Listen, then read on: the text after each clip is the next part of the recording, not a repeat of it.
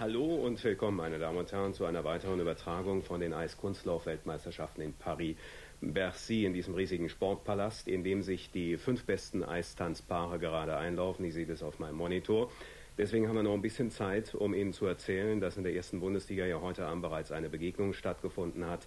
Der Hamburger SV schlägt die Stuttgarter Kickers nach Toren von Bein, Furtok und Moser mit 3 zu 0. Und in der zweiten Liga gewann der erste FC Saarbrücken gegen den SC Freiburg mit 2 zu 0.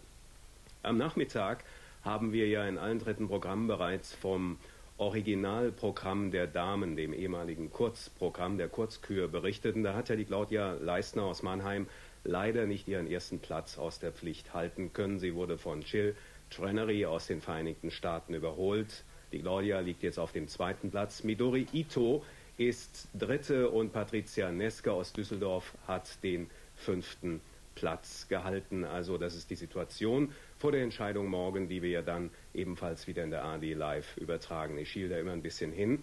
Die Eisfläche in Paris-Bercy ist noch leer, füllt sich jetzt mit einem Paar, das für seine extravagante Kür bekannt ist, die Franzosen Duchesne und alles weitere jetzt von Corinna Halke live aus Paris. Ja. Es geht um die Medaillen Isabelle und Paul Duchesne, die letztes Jahr die Preisrichter provozierten und die Zuschauer faszinierten. Sie sind auf dem Eis im Moment Vierter, aber sie haben natürlich die Chance, auf das Treppchen zu kommen. Ihre neue Kür hat das Thema Traum und Wirklichkeit. Paul verkörpert in dieser neuen Kür die harte, brutale Realität, den Existenzkampf.